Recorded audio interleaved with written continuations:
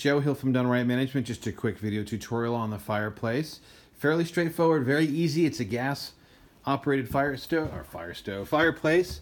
Right here you have the switch, you turn it on and that will actually activate kick it in and kick it on as you can see the flames now flickering in the, the logs in the back. Now once it heats up so, a bit, there's a fan. You go ahead and push that button, which then activates the fan, which you can probably now hear. That'll actually blow out the heat, and you can feel that right there. So if you have any further questions or if it's not operating, it's very likely that the pilot will be need to be lit, which is going to be right behind here.